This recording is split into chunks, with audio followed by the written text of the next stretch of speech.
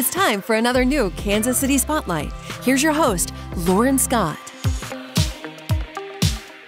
The Kansas City Mavericks are in the midst of the best season in franchise history, and you don't want to miss it. So today we are joined by Mavericks general manager and head coach Tad O'Had and Mavericks for it, David Cotton, to tell us about this exciting season. Good morning, guys. How's it going? Good morning. How are you? I'm doing great. So you guys are absolutely killing it this year. Congratulations. What do you think is causing so much success? You know what? We have an outstanding group of men. Mm-hmm. Um, you know, great goaltending, defense, forwards. They play with a great deal of pace, and I'll tell you what, the leadership throughout the group. Uh, this is an historic season. Uh, players are breaking multiple records, and it's a fun group to watch. Every night they come to play, and I'll tell you what, they, they put up some points, and it's an exciting brand of hockey. I love that. And more and more people are coming out to see you guys. Attendance is growing. What does it mean for you as a player to look up and see people out there cheering you on?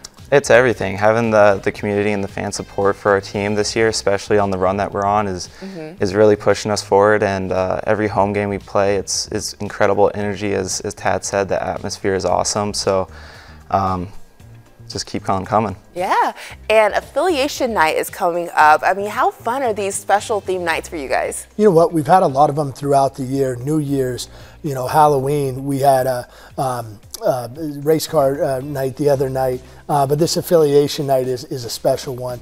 Um, it's to celebrate, you know, the Seattle Kraken, um, our affiliation with them, as well as the Coachella Valley. It's just an exciting time. Um, this is a great affiliation that has really helped propel us, and it's, it's a great way to come out, celebrate family-friendly, exciting atmosphere at Cable Dahmer Arena. Okay, and Fan Appreciation Night is also coming up. Why is it so important that you guys recognize the fans that are coming out there and cheering you on?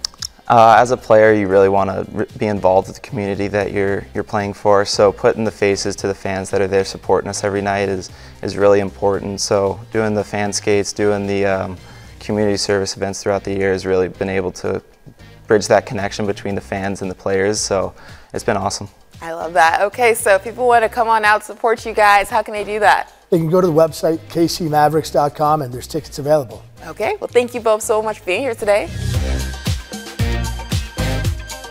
This Kansas City Spotlight has been paid for by the Kansas City Mavericks. For more information, visit kcmavericks.com.